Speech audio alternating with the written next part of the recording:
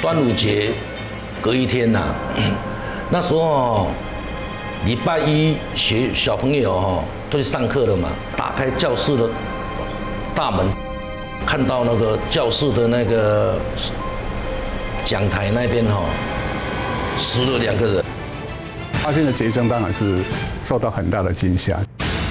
怎么会这样？该是最单纯的教室，竟然成了命案现场。人家报案的时候哈，就说死了两个人。我们一想想说，哎呦，两死个人会不会情杀，还是两个相约他们自杀？两位少女是在讲桌，然后眼睛是被白色布条蒙住了，那双手是被反绑在背后，被人家用那个那个汗衫哈撕下来哈，把脖子把它缠绕起来。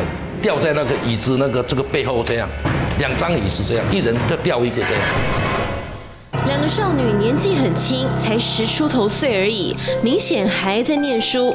嫌犯手法也太狠毒了，眼睛也把它蒙住，啊那个啊那个哈脖子把它这样，就是脖子哈把它勒毙这样。哦，看起来就看起来就就很伤心了，怎么会这样呢？会去做这样子的这种案子。啊，是不是这个被害人跟这个嫌犯啊有有有有什么深仇大恨嘛？也怕说这个将来啊，他们来要来找他了，已经把他蒙住以后，他找不到路来来来来报仇啊。法医对两人遗体进行相验，发现其中一名少女生前曾经被人侵犯，但两人衣着完整，也没有外伤。那淳朴的乡下来讲的话，哈，那么发生这种所谓双尸，所谓这个死。的命案，那当然是非同小可。在当年，这起双尸命案可着实震惊了社会，因为当年才刚宣布戒严一年。当初二十几年前，他说民民风都很淳朴的啦，人口差不多六七万，可以说是很朴实的地方啊，他们都是务农为业的啦。